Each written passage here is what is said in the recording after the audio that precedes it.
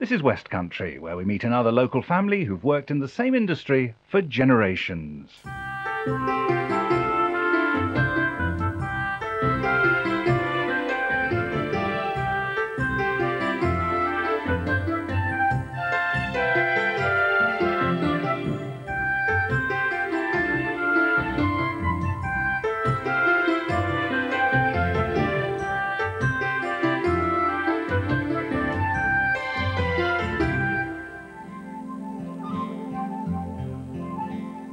St Ives in Cornwall, a tranquil harbour on the Atlantic coast of the county, a calm haven for fishermen and sailors alike.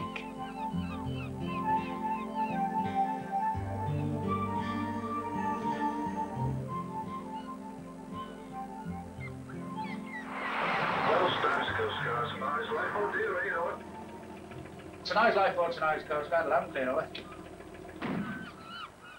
But in these still waters and safe harbour is the ever present awareness of those who live here that conditions out at sea can be in stark contrast to this scene, and there are lives that may be lost unless others are prepared to go to the rescue. This is tonight's Coast Guard, negative. Land's End Coast Guard and uh, Chopper 528 will all work on Channel Zero. Over.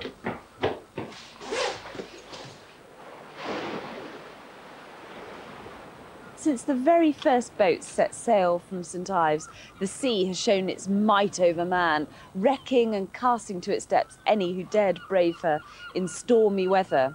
For the early seafarers, well, their fate was simply in the lap of the gods, and how many desperate prayers must have been whipped away by the wind as their vessel was tossed by the waves. The Cornish coastline is notorious with sailors for its hazardous nature, and many a ship has been wrecked, with cargo lost and lives too. Until 1803, when the first sea-going Cornish lifeboat was launched, and members of the seafaring community decided to help those in trouble at sea. The crew in those days consisted of fishermen, coastguards, customs men, and sailors. As you'd expect, there was a lifeboat in St Ives. It was first launched in 1840, and one of its crew members was likely to have been from the Cocking family.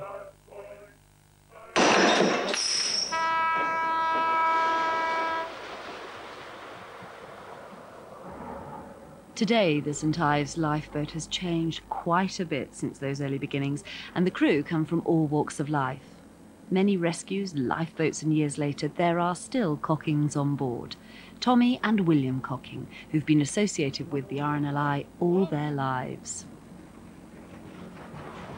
Well known figures in the town, they're key members of the St Ives rescue team, following in a great line of Cocking men who earned their livelihoods by fishing and who played their part in the life saving history of this port. Historically, records show that there were seven main families in the town of St Ives, and the Cockings were one of them. Now, we know that the Cockings must have been important because part of the harbour was actually called at one point Porth Cocking. The word cocking used to mean small boat, little boat. These little boats have been made and sailed by generations and generations of St Ives boys through the centuries. They're called cork and barbers song of the fish of the sea. Away, Rio, I'll sing you a song of the fish of And boats large and small have been a way of life for the Cockings for centuries. St Ives used to exist because of the sea, and most of its community were associated with it. Generations of Cocking's men have worked as fishermen out of St Ives Harbour, and today William Cocking is no exception. As well as being a member of the lifeboat crew, William is a full-time fisherman. Today, fishing, of course, is no longer the mainstay of St Ives folk. Now, tourism and the arts seem to be central to its existence. But for the ever enduring number of fishermen, it's a way of life they wouldn't exchange. For William, the sea is in his blood, as is the call of the lifeboat. I went into the lifeboat really because I was brought up with it. Um, I say, when all the time I was growing up, father was on the crew. He's bowman, then second coxswain, then coxswain. And as I say, we was just, it was there.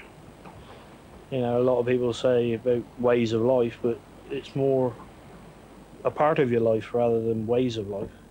When you go out, you don't think about it being frightening. You just you turn the rock, you know, your bleepers go. You get to the boathouse, you get your gear, you go aboard, and you go. Everybody gets on with their job, does it, and when you've done your job and pull somebody in, you, you know, it's a good feeling. Like. I am not brave, if anything, but daft, because who in their right mind when you got ships running for harbour for weather would go aboard a 38 foot boat and go out in it. So, you know, we're a bit silly that way. When I was younger, when the rockets went off, it was, oh, lifeboat, yeah! You know, and say, even if he was down on the beach playing, used to run for it and help out if you could. It was all hands on to get the lifeboat into the water from the boathouse on the front of the harbour wall. As the men pulled the boat with great ropes, women and children gathered to watch. It was part of the bittersweet ritual of having the lifeboat service in the port. Pulling and heaving, the men would wade into the sea until the vessel was afloat. This ritual would be woven into the history of this fishing village once tractor power was introduced. St Ives has seen many changes in the last century. You're unlikely to see the fishermen gutting their fish on the harbour wall these days. The business end of the catch is more likely to happen at the big depots at Newlyn, with the refrigerated containers ready to take the haul up country. Neither will you witness the communal net mending that used to stretch along that part of the harbour that now tourists walk in their thousands for much of the year. Mind you, gone too is the rancid smell of rotting fish or the pilchard cellars, all of which would have been familiar sights and smells to cocking ancestors. The first formal record of the Cockings' involvement with the lifeboat was back in 1868. The lifeboat's existence is thanks to one Sir William Hillary, whose appeal to the nation about the tragic number of lives lost at sea resulted in the formation of the RNLI. Brian Stevens runs the St Ives Museum and is an expert on maritime history. As I suppose most people imagine, Cornwall is a place of wreckers. And I think there's a lot of romance in that because there was a lot of people that was concerned about the seafarer. But a wreck was constituted as an act of God. And they would come in their seasons, winter time, especially when things was uh, extremely low in the county with regards food and fuel. And that meant that if a wreck came along, then there was goods, and the boat being of wood, then there would be fuel to burn. As the lambs came along in the spring and the apples came in the autumn, so wrecks would come along in their season. Life in those days were very, very, very cheap. And if ever there was a wreck, the first thing they used to say was, was she carrying? Not anything about the crew like it would be today. And if there was a report, it would be this fine brig has been lost at St Ives with a cargo valued at over a thousand pounds and who the captain was. And then it would say, it is feared the crew is drowned. Well, life in the mid 19th century was extremely hard. There was a lot of poverty. Um, you must imagine that there was only the two classes, the very, very rich and the very, very poor. And that meant that those that were in mines just scratched a living and had an early death. And for those that was on the coast, then life equally was hard because if the sea didn't give up its fruit, then they starved. And if the price and the demand for fish was not there, then I'm afraid that that was worse again for them. But for all these years, the Cocking family are as strong now as they've ever been. They got a male issue to carry on. And I think that while a Cocking goes to sea, they'll be here. The sea is in their blood. As is the lifeboat. Tommy Cocking is second coxswain for St Ives, achieving a childhood ambition. He's employed full time by the RNLI. Along with Willie, he's keeping the dynasty's traditional involvement alive. For over 100 years, Cocking men have passed on their experience and wisdom, father to son, generation to generation. Even when members of the family have lost their lives at sea, as we'll hear, the next generation have continued to respond to the maroon. Not using the old cliche, but if you ever actually do save somebody, it's a great feeling. You know, that's, you know, the saying's been used many times, but really that, that's what it's all about.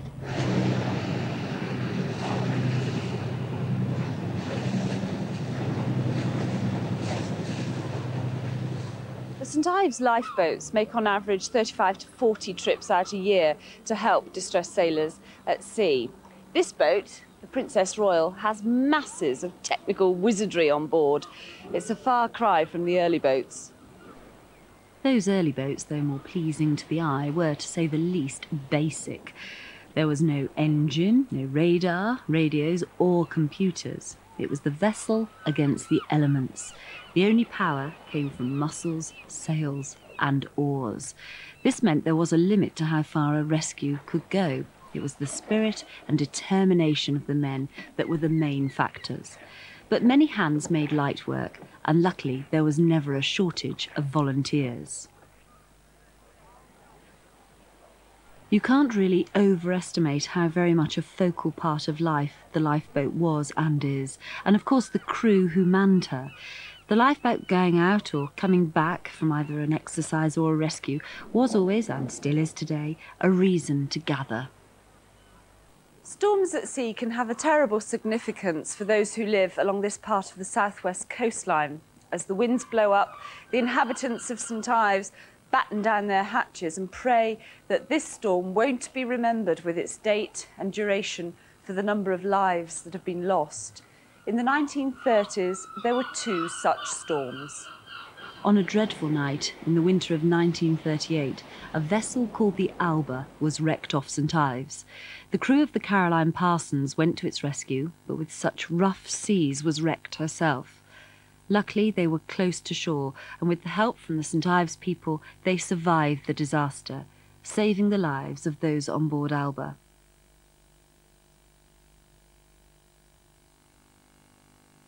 The crew were awarded for their bravery. If only the technology of today had been around all those years ago. After the loss of the lifeboat in 1938, tragedy was to strike again the next year. The stricken town of St Ives. Tragedy has visited this little seafaring community at the extreme end of England, and along the beach, watchers keep vigil for the bodies of the gallant crew who perished in their work of rescue. There, out on the rocks, lies the battered lifeboat, now high and dry, from which seven men were swept in the biggest gale within memory as they went to the assistance of a trawler in distress. The St Ives people were absolutely devastated by the disaster so soon after the loss of the Caroline Parsons. There was only one survivor, and the town went into mourning for the rest of the crew who were lost. The death toll included three members of the Cocking family. Mrs. Cocking, seen here, lost husband, son, and son-in-law. The coffins of John Cocking and his father, the coxswain, are borne from the widowed mother's home. Matthew Barber, another victim, is buried on the same day, and the whole town mourns. The funerals of the other men who lost their lives are to follow. Tom Cocking, another son, walks with his sisters. They were brave men, these lifeboatmen, who gave their lives to save others. In a graveyard overlooking the stormy sea, they rest in peace. The wreck of the Eliza Stych was burnt, but the memory of those who drowned is still crystal clear, even today. For many, that night is still present in their minds because they knew those that were lost. This is the Fisherman's Lodge on the St Ives Quay. It's where retired fishermen meet to discuss the day and exchange memories. Beside Baby O, Yeah, and one before my time, one and all. and people just used to come and sit here and talk. Well, they was a fisherman, really, you know. Yeah. We lost two lifeboats here then. No. We lost one 38 and the one 39. What were they called? Can you remember what the lifeboats Caroline Parsons, Eliza Stych. were? Last Stitch. Caroline Parsons lost 1938 out uh, on the wreck out there, Porthmeor. Yeah. Then the other one got lost on the Wilson, 19, 1939. She, she, lifeboat, she never gone out. Memories of those fateful years still alive today.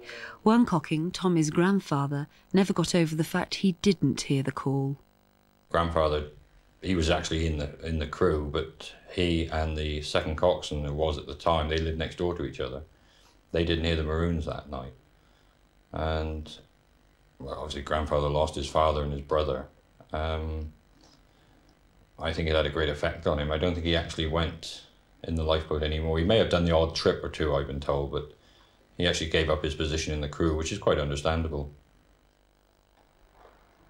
Soon, a new lifeboat was being built for a new crew to take over. For a while, there were no Cockings on board. Until in 1952, Tommy Cocking, William and Tommy's father, became part of the crew and eventually realised his lifetime ambition to be coxswain. He was lifeboat. He was brought up in a family that were connected with lifeboat, and when Tommy, particularly when he was made coxswain, he took it literally. I mean, lifeboat was every day, it was all day, and that's really as most people will remember him. When Tommy took over the Frank Penfold Marshall, um, I went out with him but I had a pretty rude awakening because you're expected on the boat, even if you are a first aider, to know a bit about the boat. And I remember coming in on the first job we did with Tommy, and I took a rope and tied a fender, something that was quite simple, but I did it the wrong way. And after it was all in, he came round, redid it, and said to me, if you're coming in on a boat with me, uh, you've got to know what you're doing, or I don't want you. And that probably epitomizes what Tommy was like. He said what he wanted, and you had to do it. Tommy was known as a tough taskmaster. He took no prisoners. He selected his crew with care and took his responsibilities to them seriously. They do as I tell them. And I said, once I get the message from the Hon Sec lunch, I've got £40,000 and six men responsible for. If I go out, I make one mistake, I drown the lot. The only time I went with him uh, as a crewman was the um, Union Crystal in November 1977. And St Ives took part in the search. And the seas that night were reported to be something over 25 feet high. And Tommy went out and they were out seven hours. He brought the crew back because it was an open boat, remember. They were all really whacked out. And I went out with the next crew. He went again himself with the next crew. And those seas down near Pendeen were absolutely terrific. The captain of HMS Penelope wrote a personal letter to Tommy, and I, I like to, if I may, just read you that because I think Tommy probably treasured that more than most of the things he got because it was from one professional to another professional. He wrote personally to the coxswain, expressing admiration of himself and his, life, his ship's company for the coxswain's superb handling of the lifeboat and devotion to duty of the crew, adding, We watched you in detail for some considerable time and found your performance to be outstanding. I think that really speaks for what Tommy was. And I still remember him standing there with his white knuckles gripping the wheel and that damp cigarette hanging out of his mouth. It would never go. It was so too wet to go. And his white act pulled down over his eyes. Tommy was a brave man amongst many brave men, but his individual contribution to the RNLI did not go unrecognised. On numerous occasions, he was awarded with medals and commendations.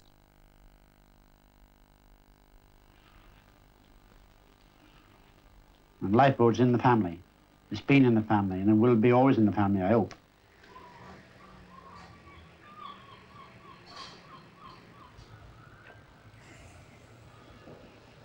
The day we brought this boat here, I thought if they men was alive now and saw what you've got now, they'd take you up the market house and burn you at the stake for being witches or something. You know, they wouldn't be able to believe the transformation of what they had to what you've got now in a relatively short space of time.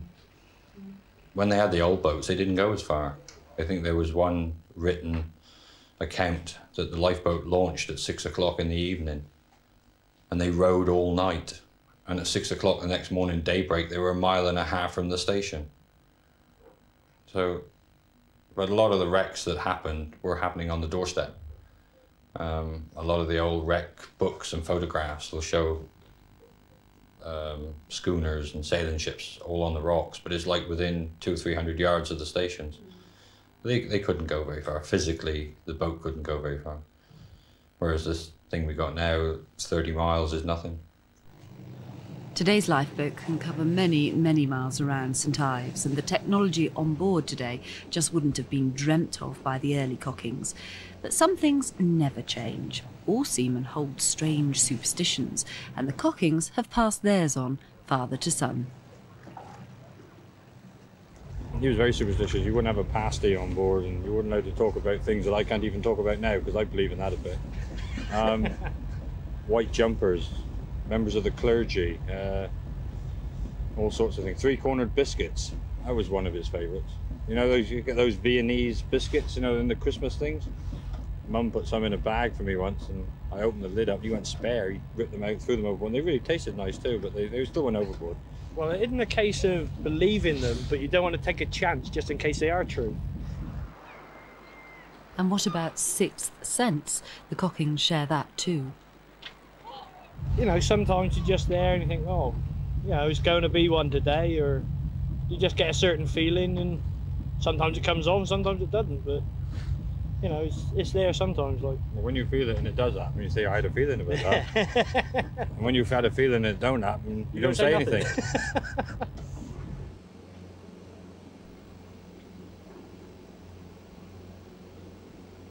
Lifeboat is changing radically. The technologies technology has changed. The boats are obviously much more um, up to date now. They're not open anymore. They're closed boats. The people that are in the boats are changing. You're beginning to get people from all walks of life. When Tommy started, you would have been somebody that worked around this harbour. You'd have been a fisherman, or you'd have been connected with the fishing, or you wouldn't have been in the lifeboat. But those days have changed, and Tommy's seen that change, but he's come up with it.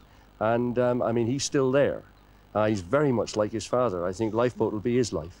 Boy Tommy had a very hard job to get on the crew, pulling skids, doing all the little mundane tasks that all those launching boys are expected to do, and not for months, for years, before you even got a chance of a job, even as an odd job on the lifeboat. But it shows what Tommy was like, because he had the dedication to actually keep going. Tommy's certainly got a son. Um, he's not interested at the moment, I don't think, but you never know. Times are changing, and I don't think we'll have people like Father Tommy and Boy Tommy who devote their life completely to lifeboat again. I don't think we live in a world where people do that.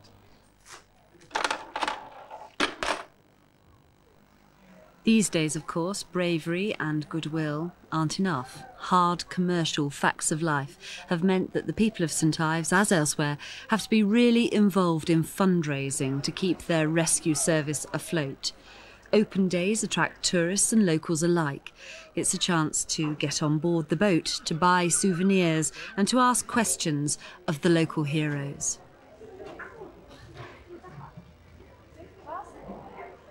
Local heroes that have included Cockings amongst their number for at least 130 years. It's a lovely thought now to think that where this lifeboat station is, is not far from the rock that bears their name. So the lifeboat is really built upon the rock, Porth Cocking Rock.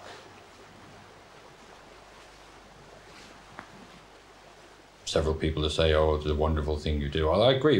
I suppose it is really, but it's everyone to their own. You know, I, I wouldn't fancy going into a house that's on fire. Uh, firemen do a wonderful job. It's not my scene. If the day ever came when I went out there thinking to myself, oh, "I don't know about this," it's time to pack up when you're like that. I'll sing you a song of the fish of the sea, away down Rio. I'll sing you a song of the fish of the sea, forward bound for the royal crown. Then